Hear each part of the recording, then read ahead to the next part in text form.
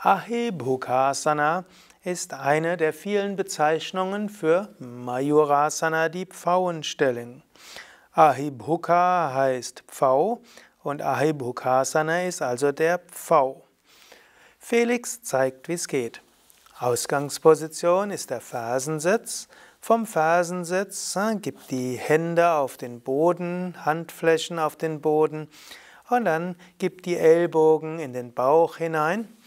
Gib dann den Kopf nach unten zum Boden und strecke die Beine aus und hebe den Kopf hoch, hebe dann die Füße hoch und dann balanciere auf den Ellbogen.